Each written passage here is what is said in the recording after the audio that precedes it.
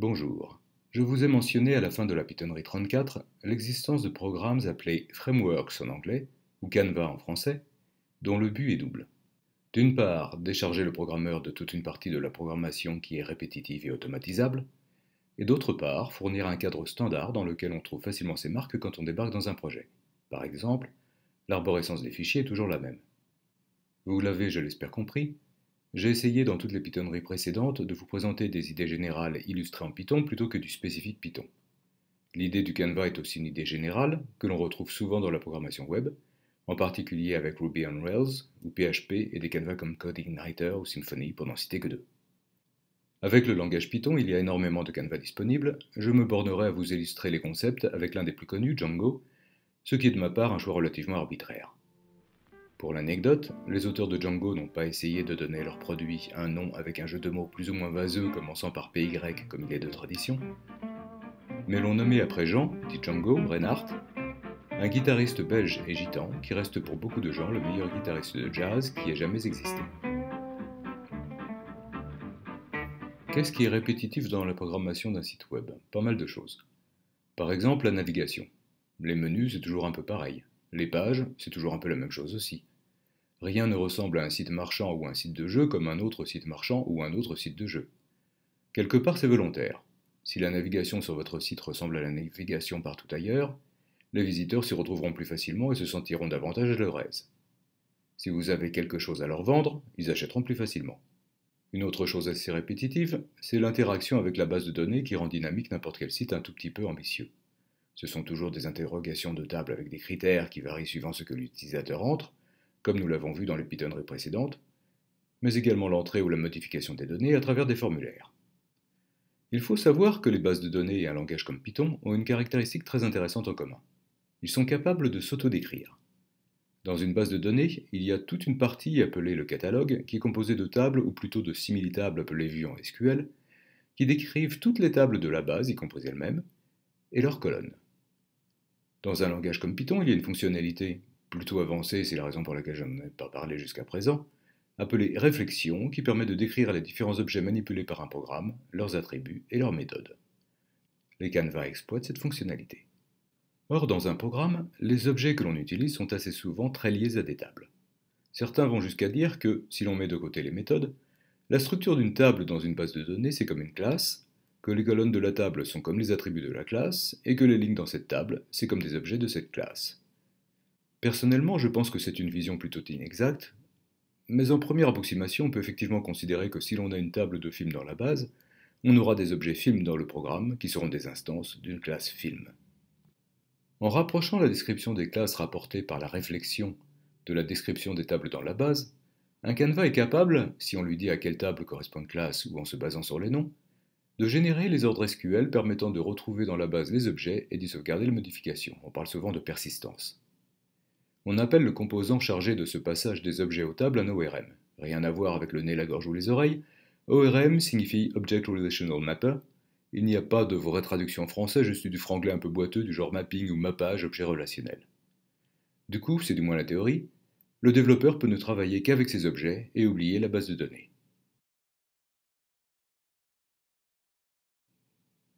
La définition des classes correspondant aux tables qui permettent de nourrir l'ORM constitue ce que l'on appelle en général le modèle. La définition des pages que l'on affichera, la présentation, est quelque chose d'indépendant que l'on appelle toujours en général la vue. La séparation des données et de la présentation permet dans une grosse équipe d'avoir des gens différents travaillant sur un aspect et sur l'autre. Reste le composant qui assure le lien entre les deux, qui associe données et présentation et permet la navigation sur le site, composant que l'on appelle généralement le contrôleur. Le tout est connu sous le nom MVC, une architecture très largement utilisée dans la programmation web, même si certaines voix discordantes la critiquent. Shakespeare a très justement écrit dans Roméo et Juliette que ce que l'on appelle une rose sentirait tout aussi bon même sous un autre nom. Je vous ai dit que l'on parlait généralement de modèles, de vues et de contrôleurs, les idées sont les mêmes mais les noms sont différents dans Django qui, s'il garde le terme de modèle, parlera de template, le mot anglais pour gabarit pour l'aspect présentation. Histoire de bien vous embrouiller, ce que Django appelle view correspond en fait à la fonction du contrôleur. Il est temps de passer à une phase pratique pour que vous voyez comment on se débrouille avec tout cela. Je ne vais plus à ce stade vous tenir la main pour installer Django sur votre machine. Si vous fonctionnez sur Linux, vous pouvez l'installer avec l'utilitaire d'installation de pactage propre à votre distribution. Sous Windows ou Mac, je vous renvoie au site officiel de Django qui est www.djangoproject.com. Je vais traiter avec Django exactement la même application que dans les Pythonneries précédentes, une recherche dans une base de données de films. Cela reste simple, mais en même temps vous allez voir que ce n'est pas l'exemple classique de tutoriel où tout fonctionne miraculeusement bien, mais qu'au contraire, on va rencontrer quelques petites difficultés. Pour commencer, je décide que mon projet va s'appeler par exemple Cinéma. En pratique, le nom du projet est en général le nom du site que vous voulez créer.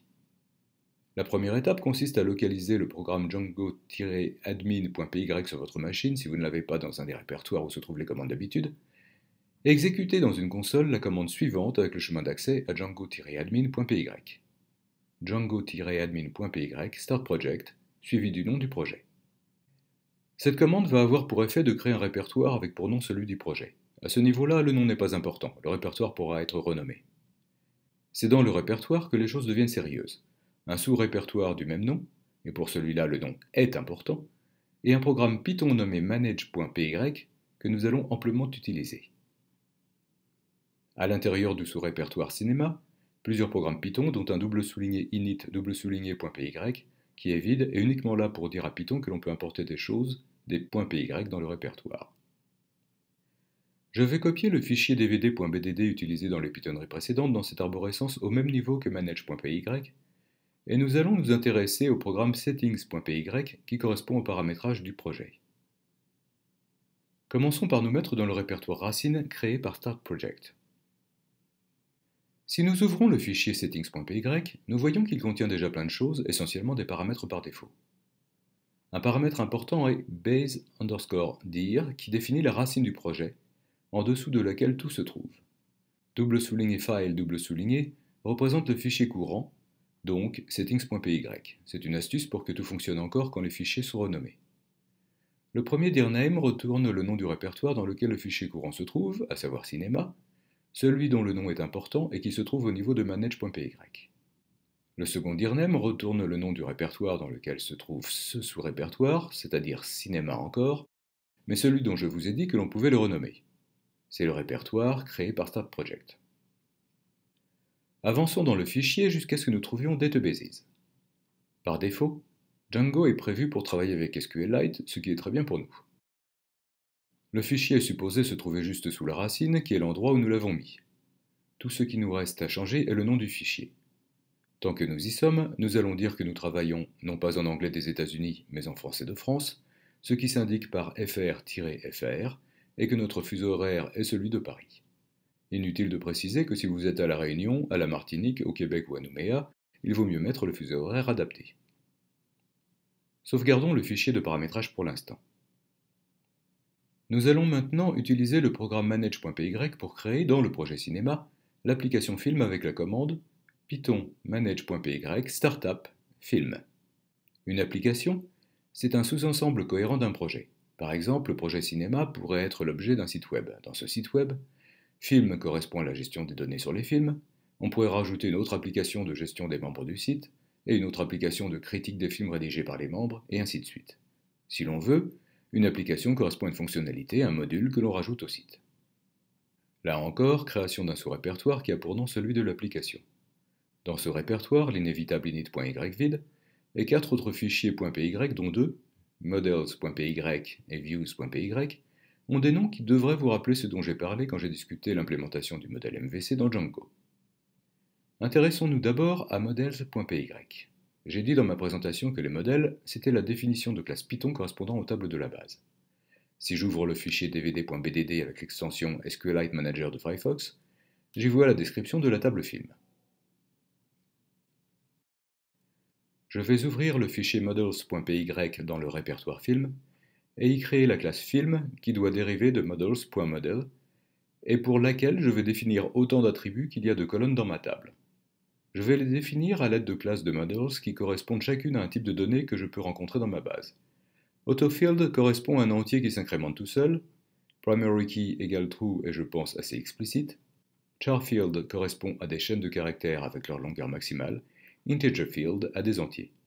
Blank égale true signifie que j'accepte ne pas avoir de valeur. Je sauvegarde mon fichier et j'édite de nouveau settings.py pour aller vers la section qui s'appelle Installed Apps où je vais dire que je veux installer la nouvelle application que je suis en train de créer et qui s'appelle Film. Remarquez bien qu'il y a plein d'autres applications mentionnées déjà. Gardez-le en mémoire, je vais y revenir bientôt. Je sauvegarde et si je lance la commande python manage.py sql film, le dernier paramètre étant le nom de l'application, je vois que Django peut créer l'ordre de création de la table à partir de modèles que j'ai définis. Sauf qu'évidemment, je n'ai rien à en faire puisque j'ai défini le modèle à partir d'une table existante. En plus, il veut donner à la table un nom qui combine le nom de l'application et le nom du modèle, et qui n'est pas le nom de la table dans la base. La philosophie de Django et de la plupart des canevas, c'est de dire je crée mes objets et je crée ma base à partir de là. Beaucoup de développeurs ont dans l'idée qu'une base de données c'est relativement simple et qu'on peut plus ou moins la dériver des programmes. Je peux vous dire, pour bien connaître les bases de données, que ce n'est pas vrai. Laissez Django créer les tables, cela peut aller pour une toute petite application nouvelle. Dans la réalité des choses, on est souvent amené à créer de nouvelles applications dans des sociétés qui ne datent pas d'hier, qui ont déjà, parfois depuis très longtemps, des bases de données, et où donc les tables existent déjà, comme dans mon cas. Je vais donc rouvrir mon fichier models.py dans le répertoire film et le modifier légèrement. Dans la classe, je vais définir une sous-classe à laquelle je dois donner le nom meta, comme métadonnées données sur les données, et dans Meta, je vais définir deux attributs. Le premier, db souligné table, précise le nom qu'a la table dans la base. Le second, managed, est un attribut auquel je donne la valeur false pour dire à Django ce n'est pas toi qui t'occupe de gérer la table, elle existe déjà, tu n'y touches pas. Ceci étant fait, si je relance la même commande que tout à l'heure, python manage.py sql film, plus rien n'est affiché, puisque Django ne va plus s'occuper de la structure des tables dans la base, mais uniquement des données qu'elles contiennent. Je vais maintenant passer une autre commande, et c'est là que je vous demande de vous rappeler que j'ai ajouté tout à l'heure dans settings.py l'application film à une longue liste d'applications. Cette commande, c'est python manage.py syncdb qui synchronise la base de données avec les classes des applications du projet. Si j'ai dit à Django de ne pas s'occuper des tables pour la classe film, je ne lui ai rien dit de tel pour les autres applications préinstallées. Il va donc me créer des tables, me demander si je veux utiliser un super utilisateur, le nom Pythonnerie me va bien, je ne vous donnerai pas le mot de passe, et après tout ça, Django est prêt à travailler avec la base, et nous verrons ce qu'il sait faire dans la prochaine Pythonnerie.